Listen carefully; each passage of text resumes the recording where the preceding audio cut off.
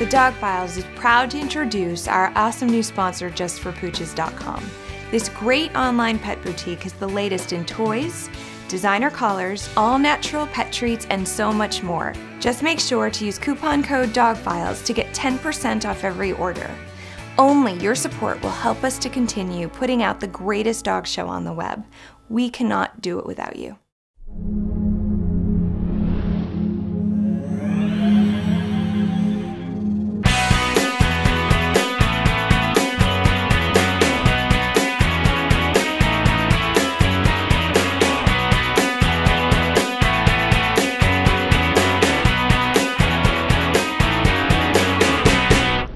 We are so excited to present our new four part series, The Dog Files Hit the Heartland, a series that was only made possible by the generous donations of Dog Files fans like you.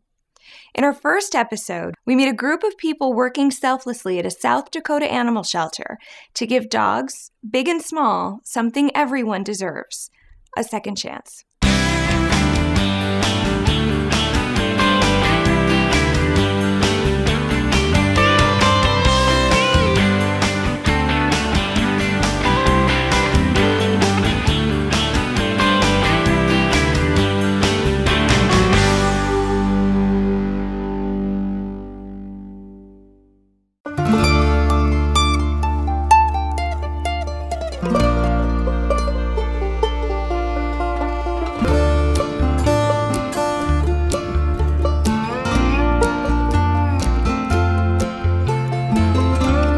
Name is Rosey Quinn, and I am the founder, director, and humane officer for Second Chance Rescue Center.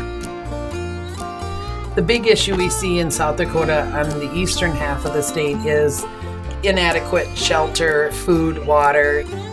We get calls on that every day. All humane officers or animal control officers have that one rescue or thing that they've done that sticks with them forever. Mine is Gabe. Gabe was a German Shepherd puppy. His collar had grown, grown into his neck, and the skin had grown around the collar. It stunk of infection. I made it back here to Sioux Falls in just a little over 10 minutes to get him to the hospital. Gabe is the one dog that I fell in love with and saved. We're going through their pre adoption exam where we evaluate them and see if there's any obvious things that need to be addressed. Um, they came from a breeder down um, in Lincoln County here in, in South Dakota. He just couldn't utilize these dogs anymore because they weren't producing for him. Your breeders throughout South Dakota in the Midwest consider their your bigger breeders consider their dogs um, livestock. They're not considered an, uh, domestic animals. Unsuspecting people who buy these puppies don't see where they came from and they don't see the environment of the moms and the dads.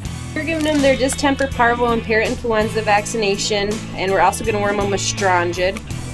He claims he vaccinated them a year ago, but he didn't have any proof of that. It's hard to say if they're good or bad breeders, but generally a responsible breeder vaccinates their pets, has them checked regularly by a veterinarian. They breed to improve the breed, and I'm not sure what his setup was, but he cared enough about them at least to surrender them to us, which is better than just disposing of them himself. Well, I came out here today to find my dog a friend. I'm looking for a good tempered uh, male dog for her to play with. Her name is Banjo. Maybe I'll come up with another instrument name for him. Second Chance does not euthanize for space. If an animal comes, it stays till we can find it a home. Well, we have a program where you can take them home for a couple days and try them, make sure that you're ready for a puppy. That way, you know, if it doesn't work out, they get a little vacation. If it does work out, you get a new dog. I, I think that'd be the best, yeah. I truly believe that there is a person for every animal and an animal for every person. All finished up with the uh, short bit of paperwork. I'm going to take him home, introduce him to my Staffordshire. I think they'll probably get along just great. My name is Kim Johnson. I work in the Sioux Falls City Annex building. This building contains the dogs that city animal control officers pick up. We scan them to see if they're chipped. A lot of problems you run into that with is that people don't get those registered. We make every attempt to find out who the owners are. A lot of people um, either just don't look for their animals or don't know where to look.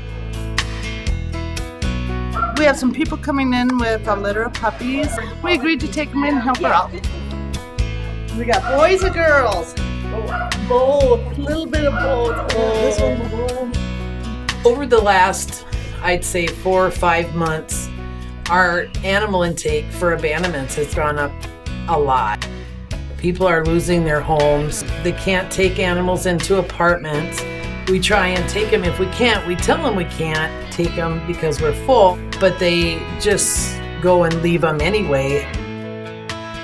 We've had animals that have sat here five, six months, and somebody will come in and all of a sudden it's the perfect pet.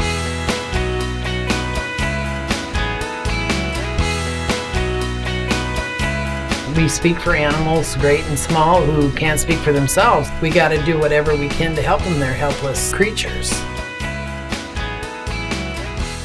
As far as I'm concerned, we see miracles here every day.